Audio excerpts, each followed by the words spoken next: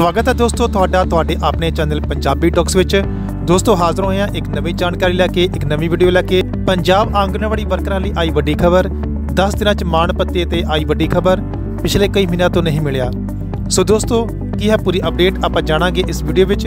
Video ਸ਼ੁਰੂ ਕਰਨ ਤੋਂ ਪਹਿਲਾਂ ਛੋਟੀ ਜਿਹੀ ਬੇਨਤੀ ਹੈ, ਅਗਰ ਤੁਸੀਂ ਸਾਡੇ ਚੈਨਲ ਤੇ ਪਹਿਲੀ ਵਾਰ ਆਏ ਹੋ, ਤਾਂ ਕਿਰਪਾ ਕਰਕੇ ਸਾਡੇ ਚੈਨਲ ਪੰਜਾਬੀ ਟਾਕਸ ਨੂੰ ਸਬਸਕ੍ਰਾਈਬ ਕਰ ਲੈਣਾ ਅਤੇ ਨਾਲ ਹੀ ਬੈਲ ਆਈਕਨ ਦਾ ਬਟਨ ਦਬਾ ਲੈਣਾ ਤਾਂ ਹੀ ਸਾਡੀ ਆਉਣ ਵਾਲੀਆਂ ਸਾਰੀ ਵੀਡੀਓ ਸਭ ਤੋਂ ਪਹਿਲਾਂ ਤੁਹਾਡੇ ਤੱਕ ਪਹੁੰਚ ਸਕੇ।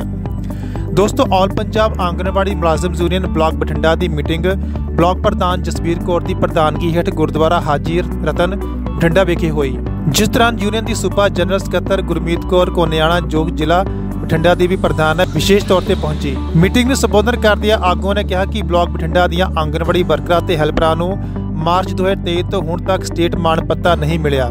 ਜਿਸ ਕਰਕੇ ਬਹੁਤ ਸਾਰੀਆਂ ਆਂਗਨਵਾੜੀ ਵਰਕਰਾਂ ਤੇ ਹੈਲਪਰਾਂ ਨਿਰਾਸ਼ਤਾ ਤੇ ਆਲਮ ਵਿੱਚ ਹਨ ਤੇ ਉਹਨਾਂ ਨੂੰ ਆਪਣੇ ਘਰਾਂ ਦਾ ਗੁਜ਼ਾਰਾ ਕਰਨਾ ਔਖਾ ਹੋਇਆ ਪਿਆ ਹੈ।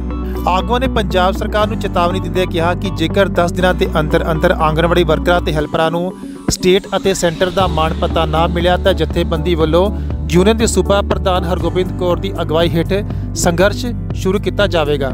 ਉਹਨਾਂ ਇਹ ਵੀ ਕਿਹਾ ਕਿ ਬਠਿੰਡਾ ਸ਼ਹਿਰ ਵਿੱਚ ਜਿਹੜੇ ਆਂਗਣਵਾੜੀ ਸੈਂਟਰ ਕਿਰਾਏ ਦੀਆਂ ਇਮਾਰਤਾਂ ਵਿੱਚ ਚੱਲ ਰਹੇ ਹਨ, ਉਹਨਾਂ ਨੂੰ ਸਰਕਾਰ ਨੇ ਕਿਰਾਇਆ ਨਹੀਂ ਦਿੱਤਾ। ਉਹਨਾਂ ਮੰਗ ਕੀਤੀ ਹੈ ਕਿ ਸੈਂਟਰਾਂ ਦਾ ਕਿਰਾਇਆ ਤੁਰੰਤ ਦਿੱਤਾ ਜਾਵੇ ਮੀਟਿੰਗ ਵਿੱਚ ਇਹ ਵੀ ਮੁੱਦਾ ਉਠਾਇਆ ਗਿਆ ਹੈ ਕਿ ਆਂਗਣਵਾੜੀ ਸੈਂਟਰਾਂ ਵਿੱਚ ਰਾਸ਼ਨ ਦੀ ਸਪਲਾਈ ਸਹੀ ਨਹੀਂ ਆ ਰਹੀ।